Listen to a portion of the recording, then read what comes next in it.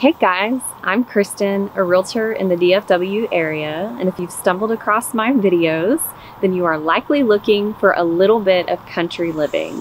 If that's the case, then you are in the right place because we're going to take a deep dive into the best places to find homes with land in DFW.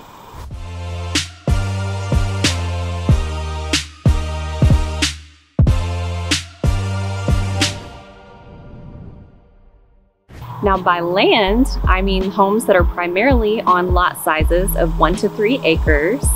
We're also looking at homes that are 2000 and newer because that's where the most inventory is available.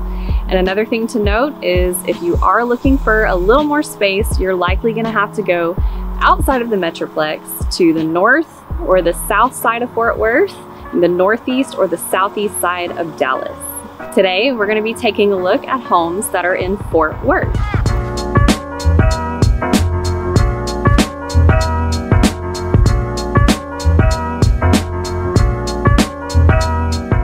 Now, if you've heard of Dallas, you've likely heard of Fort Worth.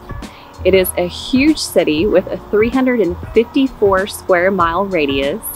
It has a population of nearly 100,000 people now, when comparing it to Dallas, I personally prefer Fort Worth. I lived in this area my entire life, and in my opinion, Fort Worth is just a little more laid back. It's pretty common to go to a nice dinner and still see people in cowboy hats, boots, and jeans. So, some fun facts about Fort Worth. If you didn't know, it is home to the famous Fort Worth Stockyards, which still hosts daily cattle drives at 11:30 a.m. every morning. It was recently renovated, has a ton of cool shops, historic locations, as well as some pretty amazing hotels.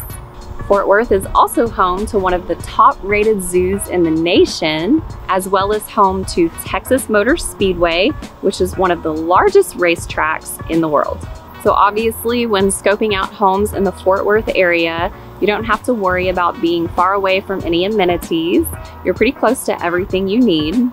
Fort Worth has everything you could think of, such as restaurants, hotels, grocery stores, hardware stores, medical care, and more.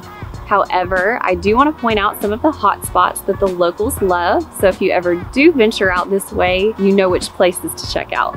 First is the infamous Sundance Square in downtown which is a super cool hangout spot with tons of restaurants, fountains, and also a great place where you can take in a lot of the local history. Now, Clear Fork is a newer, more urban area right off of the trailhead of Trinity Trails.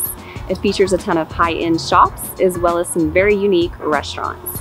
And then lastly, we have the University Park area, which is also home to several upscale stores, restaurants such as HG Supply, Press Cafe, the zoo, and Trinity Park. So now let's talk about the real estate in Fort Worth.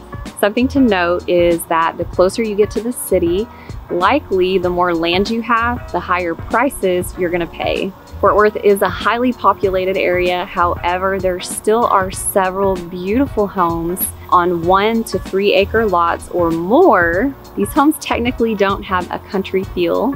They're more of high-end luxury estates. So if you are a person that is not limited by budget and you want to be close to amenities, then some of these neighborhoods will be great locations for you to check out in your home search. So home prices for homes with land in Fort Worth range from 200,000 all the way up to 6 million. Lot sizes are on average from 1 to 2 acres. The average sales price is around $205 a square foot. The average home size is about 4,000 square feet, and you can expect property taxes to be closer to about 2%. So the first neighborhood we're gonna take a look at is Bella Flora. Bella Flora is about 20 minutes southwest of Fort Worth off of Highway 377. It's a beautiful, massive neighborhood with tons of inventory and still lots to build on. Prices in this neighborhood range from 500,000 to a million dollars. The average home size in this neighborhood is about 4,000 square feet and most homes feature about one to three acre lot sizes. Sales prices are around $195 a square foot, and as you can see, there's a wide range of styles from traditional to modern and modern farmhouse, and most of the homes feature stunning open views. The next neighborhood we're gonna take a look at is Aledo Ridge, which is a smaller pocket of custom builds about 20 minutes west of downtown Fort Worth. Prices range from 500,000s to 800,000s. Lot sizes are about one to two acres. And the average home size in this neighborhood is around 3,200 square feet with exterior finishes that are more on the modern side, which means you're typically gonna see bolder colors such as blues, blacks, and a ton of crisp, clean lines and beautiful high-end finishes. Then last and certainly but not least, because it is probably my favorite of all the neighborhoods we took a look at today, is Covered Bridge Canyon. Homes in this neighborhood are a little bit older and more established.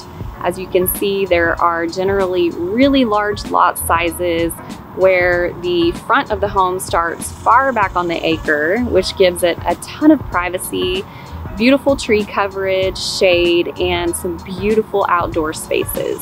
This neighborhood, when you drive through it, is really captivating. I personally feel like the video just doesn't do it justice. As you go from one part to the next, there's beautiful rolling hills. Every home is custom and has its own character with unique features.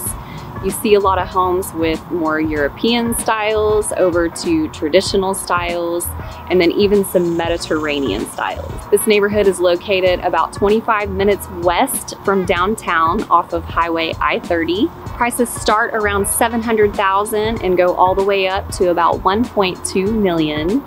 Lot sizes are around one to two acres. The average home size is about 3,500 square feet and the price per square foot is around $190. Well, that wraps up our tour of Fort Worth neighborhoods for today. Be sure to check out my other videos for great hotspots to find more homes with land. Also, if you're considering buying or selling anytime in the near future, my contact info is below. Feel free to reach out anytime.